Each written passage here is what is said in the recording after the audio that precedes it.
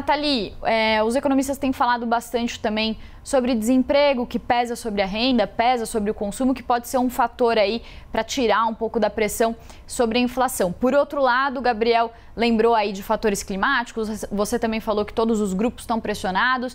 É, quer dizer, a tendência pode, a gente pode dizer que é uma tendência de desaceleração da inflação, mas com esses riscos aí que podem colocar tudo a perder? Exatamente. Para 2022, é, toda essa questão de, do nível de preços especialmente elevado que nós estamos sofrendo em 21 é, tem um impacto oposto. Né? Então, a gente está falando de um nível de alimentos que está muito elevado, a gente está falando de um nível de energia elétrica que está muito elevado. Então, como a gente considera inflação, né? inflação é variação de preço.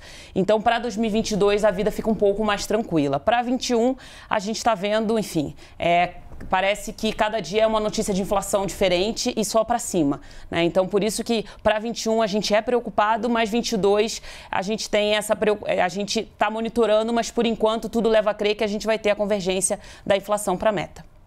Gabriel, diante desse cenário, né, a gente vê então os preços batendo no bolso, só que a gente quer trazer também aqui no nosso grande debate uma dica mais prática aí para a galera que está fazendo investimentos. É, como que vocês estão posicionados na gestora é, diante desse cenário aí de inflação ainda pressionada, com alguns riscos à frente e quais são as grandes oportunidades do momento? Tá bom, nesse ambiente inflacionário é, é sempre bom se proteger da inflação, então a gente gosta muito de, dessa proteção, que é o Tesouro IPCA, a gente gosta de, é, de vértices, né, de, de vencimentos longos, não só porque te protege da inflação, mas também tem um prêmio em termos de juro real muito alto. A gente está falando de um juro real aí de 4,5%, é muito alto. Então tem está atraente ficar na, na, no Tesouro Direto é, num vértice longo. Além disso, commodities, como a gente falou, né, commodities está muito pressionada, tanto as metálicas quanto as agrícolas, então também é possível se proteger via commodities.